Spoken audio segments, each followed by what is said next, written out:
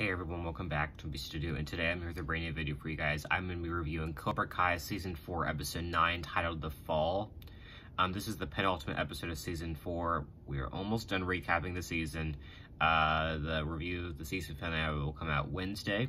So yeah, I'm excited to uh, break this down. This was a pretty good episode. Um, I like the tournament for the most part. Um, a few things I'll bring up later that I didn't like, but I...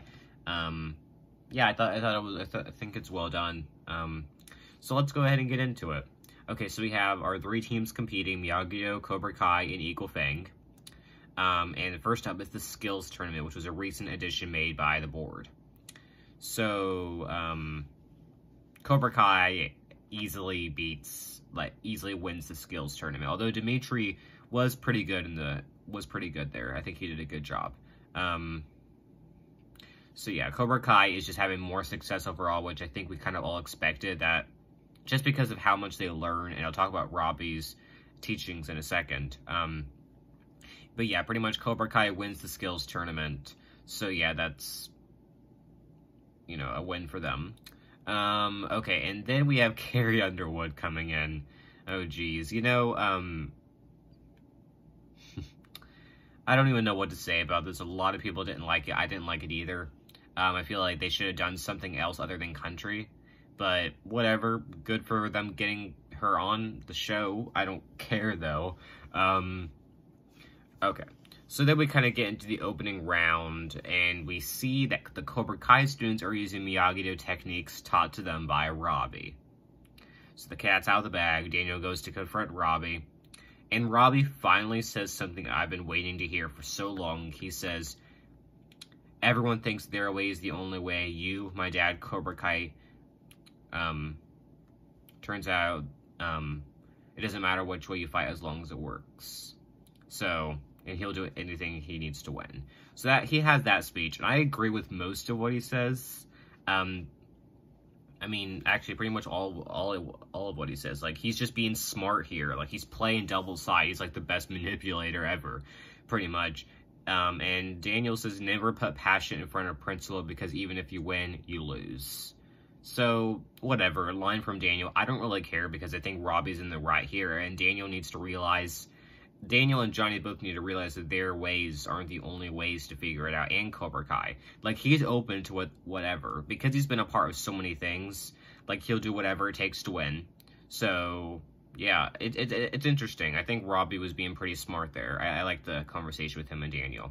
So yeah, Cobra Kai keeps having more success. Tori uh, eliminates Devon, who was uh, the girl, uh, Johnny's female star, which means uh, Eagle Fang is eliminated from the tournament, uh, the girls' side, which means Miguel would have to beat uh, all the guys in order to win.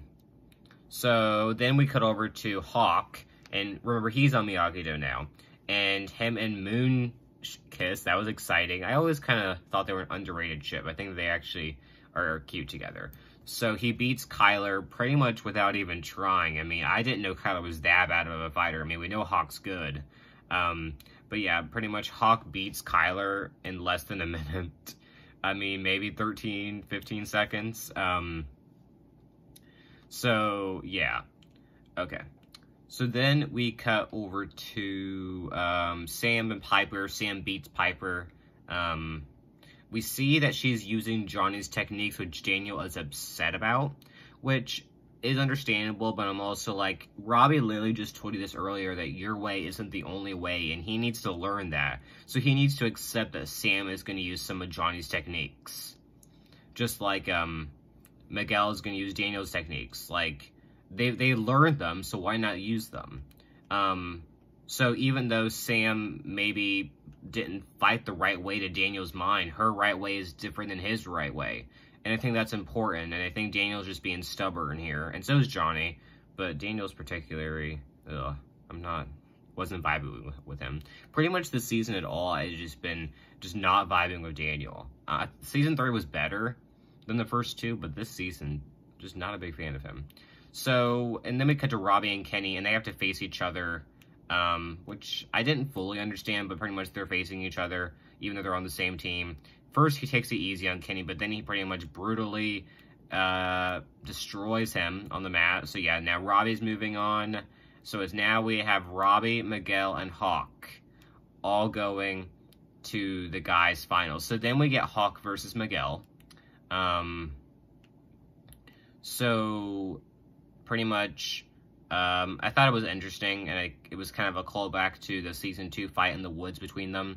So yeah, and they haven't really talked for a while. They're not, I mean, they're friends, just not, they just haven't really talked, and I hope we see more of that next season.